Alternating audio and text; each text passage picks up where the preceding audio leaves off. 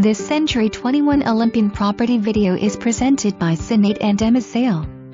This Epsom floor plan by Anglia is a beautiful one-story, three-bedroom, two-bath home.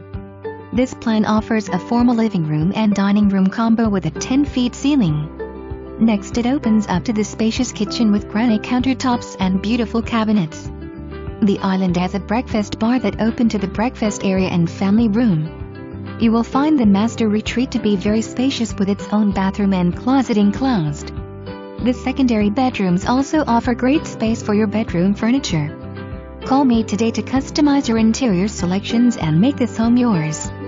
For more information, review the details below.